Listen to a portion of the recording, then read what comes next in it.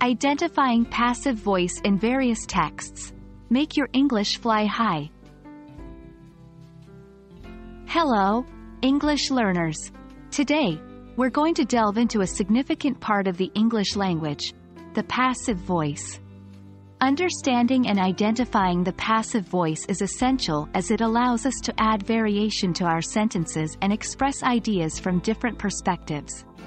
So, buckle up and let's get started.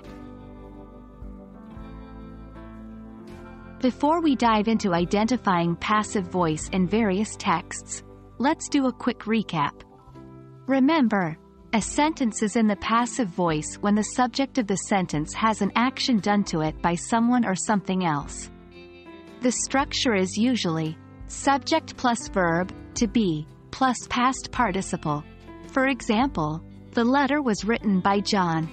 The cake has been eaten. In these examples, the subjects, the letter and the cake, are having something done to them by someone else. John and an unknown entity, respectively. Now let's apply this knowledge to identify the passive voice in various texts. Whether you are reading a book, an article, or a short story, look out for that structure. Subject plus verb, to be, plus past participle. Here's an example from a short story. The room had been cleaned by Mary. In this sentence, the room, subject, had something, cleaning, done to it by Mary. And here's an example from a newspaper article. The law was passed by the government. Again, the law, subject, had something, being passed, done to it by the government. Let's practice identifying the passive voice in sentences.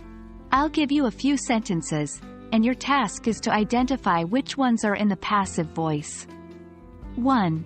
The book was read by the entire class. 2. She is painting a beautiful mural. 3. A mystery novel was written by Agatha Christie. 4. I am eating an apple. 5. The building was destroyed in the fire. The sentences in the passive voice are 1, 3, and 5. Mastering the passive voice can add a new dimension to your English language skills. It allows you to express actions and events from different perspectives and adds variety to your sentences. Remember, practice is key. So, continue to read various texts and identify the passive voice. I hope you found this video helpful. Keep practicing, and remember, Every step you take in learning brings you closer to fluency. See you in our next video. Happy learning!